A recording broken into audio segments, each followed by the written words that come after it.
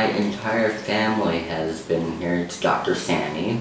Um, started out with my grandmother, um, my grandfather, my dad, um, went to my sister, to his brother-in-law, to his side of the family, my brother-in-law's parents, um, my niece, my brother-in-law's sisters, and now myself, and my son is probably going to end up down here as well.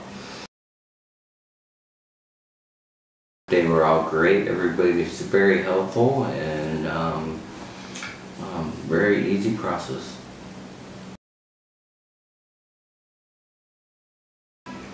Um, it's a nice place. Um, all the people around here are very friendly.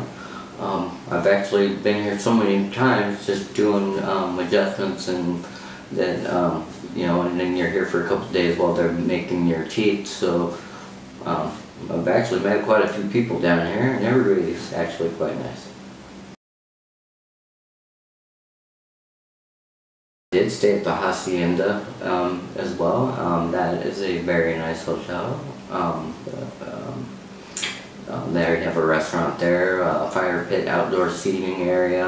Um, nice, nice place, uh, local to the dental office as well.